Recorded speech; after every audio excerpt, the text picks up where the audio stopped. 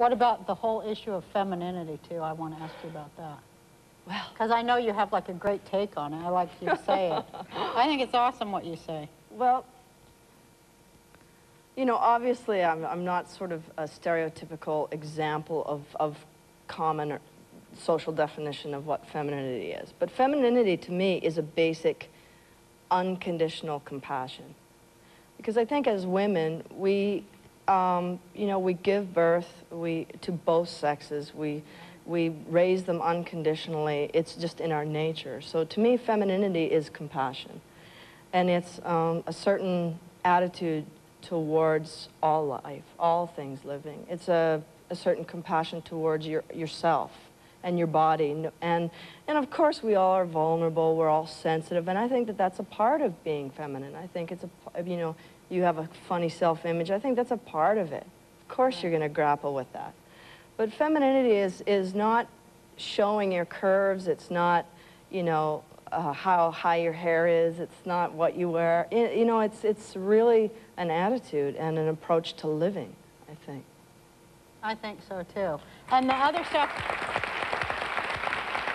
so much of the other stuff, so much of that bill of goods that we've been sold about it is just like artificial and materialistic stuff. It really doesn't have anything to do with this.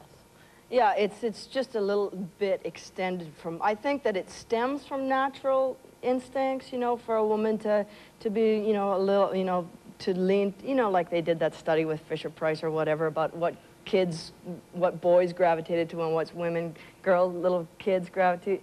And that basically they, girls like dolls and boys like trucks. And then there's people like me that like trucks and boys who like dolls. And, and, and it happens at a very early age. And, uh, and You know what else I think though about on the subject of femininity? no. um, being like and not really um, into the groove, uh, whatever it was that you said, like typical feminist, feminine woman myself.